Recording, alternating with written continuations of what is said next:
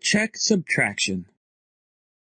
We can use addition to check the answer to a subtraction problem. Add the numbers 15 and 10 to check the answer. 5 plus 0 equals 5. 1 plus 1 equals 2. The answer is 25. Since 25 is a number you subtracted from, your answer is correct. To check the answer to a subtraction problem, add back the number you subtracted.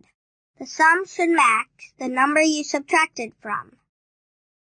Let's try another subtraction problem. 36 minus 20.